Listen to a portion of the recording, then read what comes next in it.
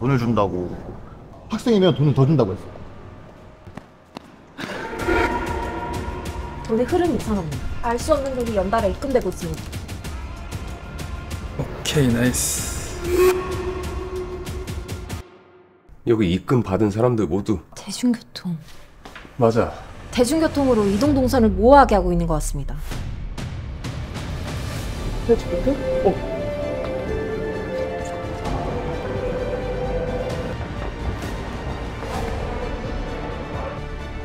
쟤 방금 그 사람 뭐라던 거야? 대중교통을 이용하면 돈을 준다고 더 페이라고 하던데 너 반드시 잡는다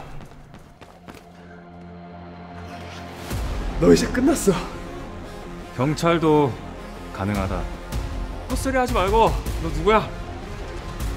나는 알 수 없는 돈이 연달아 입금되고 대중교통을 이용하면 입금 돈을 받는 준다고. 사람들 전부 19세 이상 성인들입니다, 반장님.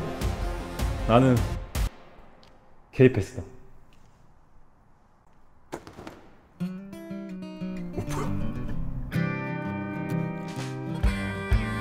K패스? 이거 광고였어?